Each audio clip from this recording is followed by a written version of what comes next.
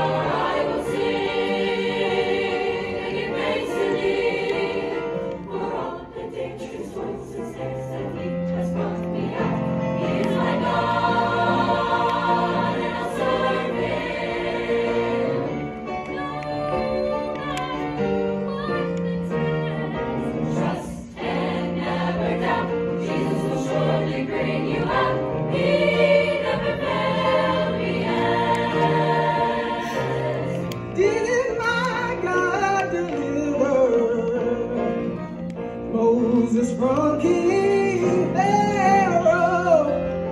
And did he cool the fiery furnace for Shadrach, Meshach, and Abednego? When I think of what my God can do, even living Daniel, I know he will deliver you.